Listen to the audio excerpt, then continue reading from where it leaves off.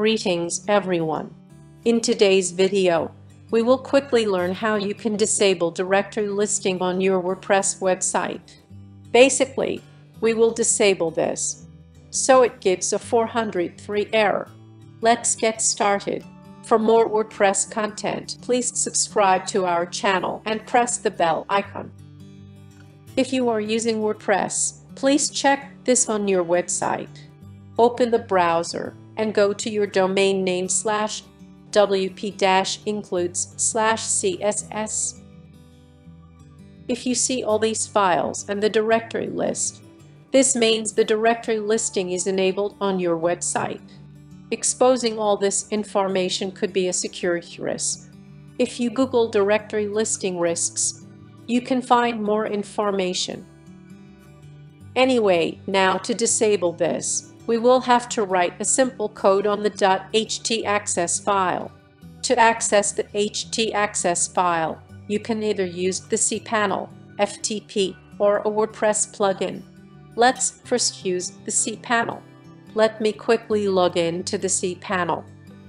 Enter the credentials. So we are in the cPanel.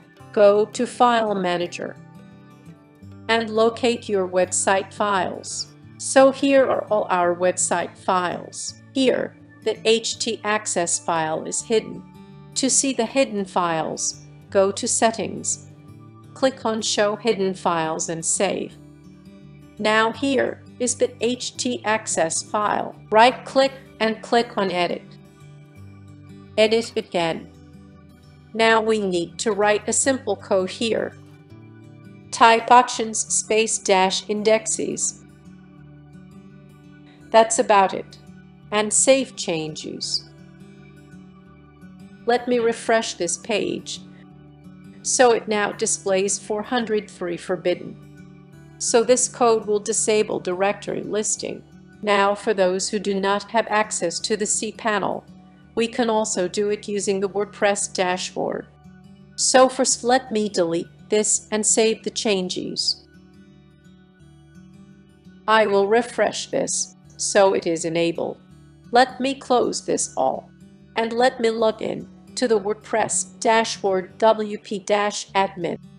Enter the credentials go to Plugins and add New, and search for File Manager. This is the plugin, install it, and activate the plugin. So the plugin has been activated. Click on the WP File Manager here. And here you have all your website files. Find htaccess here. Right-click and click on Code Editor.